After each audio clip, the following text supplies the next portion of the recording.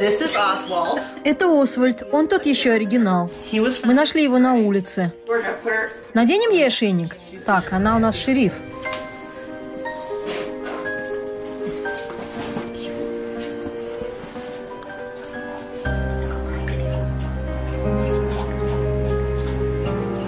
This one is Biddy. We call her Sheriff Biddy. Это Биди, мы ее называем шериф Биди, потому что она нас тут всех строит.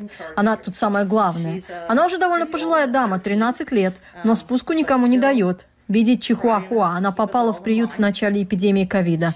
Ее хозяин одним из первых умер от ковида.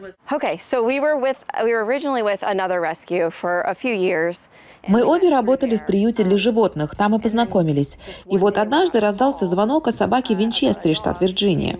Я там как раз живу. Собака была очень маленькой, где-то полтора килограмма. У нее не было нижней челюсти, язык болтался. Она не могла ни есть, ни пить. Все ее тело было в какой-то гадости. Мы подобрали ее и отвезли ко мне. По дороге домой я думала, что она умрет у нас на руках. В таком она была ужасном состоянии. Мы начали лечить ее, круглосуточно ухаживать за ней.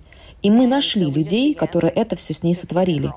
Мы оказали достаточное давление на полицию, службу контроля за животными, а потом и на судью, чтобы эти люди ответили по закону. Собака не дожила до того, как они понесли наказание.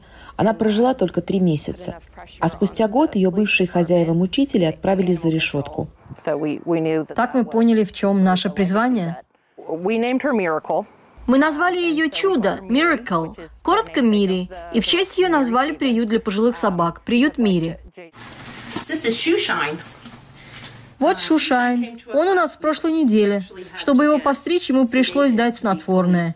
Его не стригли очень долго. And a lot of times it doesn't stem from a place of Часто хозяева специально не хотят навредить им. Они просто не заботятся о собаке, не понимают, что нужды собак так же важны, как и их собственные. Даже такие вещи, как стрижка, если у тебя маленькая собака вроде пуделя или собака длинношерстной породы, стрижка таких собак обходится дорого. Но если не стричь, могут возникнуть многие проблемы со здоровьем. Как мне кажется, люди этого часто не понимают. И со временем недостаток внимания достигает точки, когда становится абьюзом. you know, it, Это у меня вызывает гнев. Я стараюсь никого не судить, просто фокусироваться на собаке и все. Но бывают просто запредельные уровни безответственности.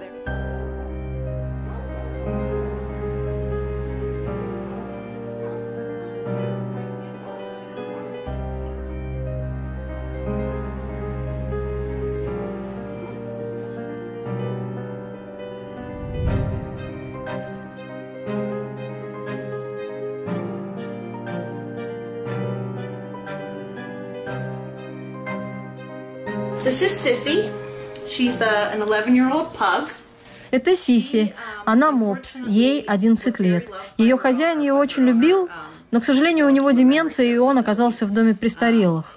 Она провела дома в одиночестве 6 недель. Ее навещали крайне редко. Семья хозяина занималась другими делами. This one is Candy. She's a little bit shy. Это Кенди. Она немного стесняется, она очень сладкая девочка. Она с нами живет дольше всех, почти пять лет. Когда мы ее только взяли, она так всего боялась, что безвылазно сидела две недели под кроватью.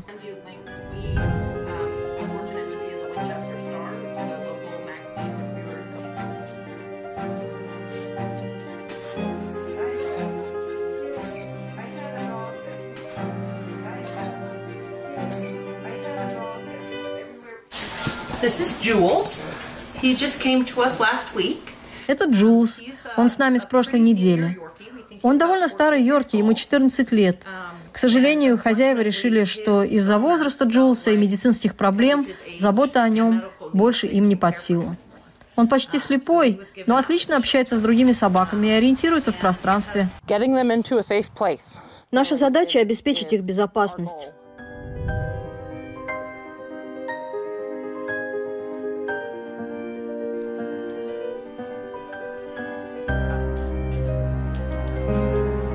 We lose dogs. We have them pass away in front of us. Иногда они уходят здесь, умирают на наших глазах. Мы провожаем их к радужному мосту, такое есть выражение. And that's awful. That can be really hard. Это бывает очень сложно, очень тяжело психологически. А проработать эту душевную рану не получается, потому что появляется другая собака, и о ней надо позаботиться. Я нашла свой путь заботы о ближних. Это особое чувство, я люблю собак. Я занимаюсь этим всем для моего собственного выживания. Если я не буду помогать кому-то, помогать вот этим животным, я просто потеряюсь в мире, потеряюсь в темноте. Мы обязаны продолжать. Мы должны найти им новые семьи. Мы можем помочь им обрести лучшую, более комфортную жизнь. This is Gypsy. Это джипси, китайская хохлатая. Мы думаем, что дефект лапы у нее врожденный. Эти собаки настолько редкие, что их часто подвергают имбридингу, и от этого возникают подобные дефекты. Но она справляется хорошо. Она и не подозревает, что не такая, как другие.